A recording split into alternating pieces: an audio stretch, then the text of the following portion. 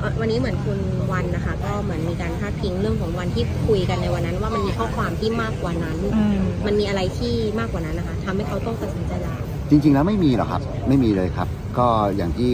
ให้สัมภาษณ์ไปแล้วก็เล่าไปเนาะว่าจริงๆแล้วเข้าไปถึงเนี่ยพี่วันอย่างแรกก็คือทราบว่า อะไรเกิดขึ้นเนาะก็ขอโทษแล้วก็อ่าบอกว่า คิดน้อยไปหน่อยอืมแล้วก็คุณยิงก็บอกว่าผู้หลักผู้ใหญ่ไม่ค่อยสบายใจยิงก็เลยต้องเชิญพี่หนุ่มมาคุยก่อนแล้วคราวนี้มันเป็นบทลงโทษอะไรต่างๆ เนี่ยก็อ่าอาจจะเรื่องของตำแหน่งนะครับพี่หนุ่มก็เลยบอกว่าถ้าอย่างนั้นก็ก็ก็พี่หนุ่มก็ขอลาออกเองดีกว่าอืมแล้วก็คุณยิงก็บอกว่า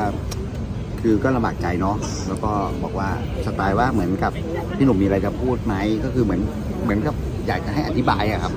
อย่างแต่ว่าทั้งหมดทั้งปวงมันคือทามมิ่งที่ผมบอกเนี่ยอืมแต่แต่แต่ดูคำพูดของเขาเนี่ยค่อนข้างเจ็บช้ำกับประโยคที่อาจจะมีการพูดอะไรไหมพี่เสียดเสียดอะไรอย่างนี้ไหมคือเท่าเท่าที่ผมฟัง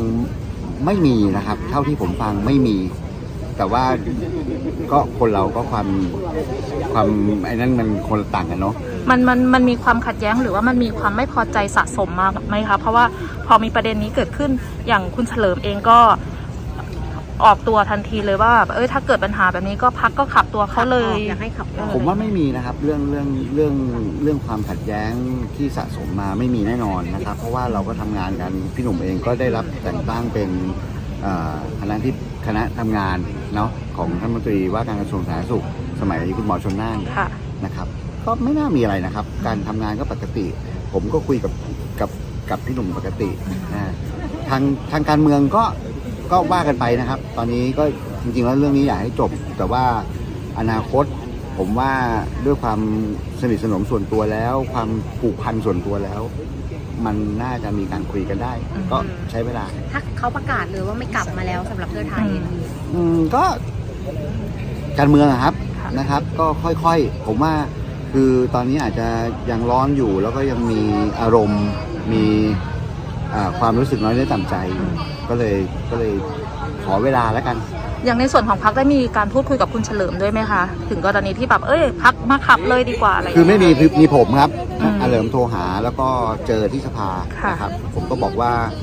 ก็ขออนุญาตที่จะอ่าไม่ทำตามคำสั่งอานะอะไรอย่างเงี้ยนะครับ แต่ว่าด้วยด้วยความ เป็นพักอะมันมีมันมีกระบวนการอยู่นะครับ ก็จริงๆแล้วการจะขับท่านใดออกจากพักเนี่ยนะครับโดยเฉพาะอย่างยิ่งท่านเป็นสมาชิกสภาผู้แทนราษฎรด้วย และเป็นสมาชิกพักด้วยเนี่ยการขับออกจากพักเนี่ยมันจะต้องมีความผิดร้ายแรง แล้วก็มีคณะจริยธรรม แล้วก็เสนอต่อคณะกรรมการบริหาร มันไม่ใช่ว่าอยู่ดีๆจะขับได้อืมนะครับ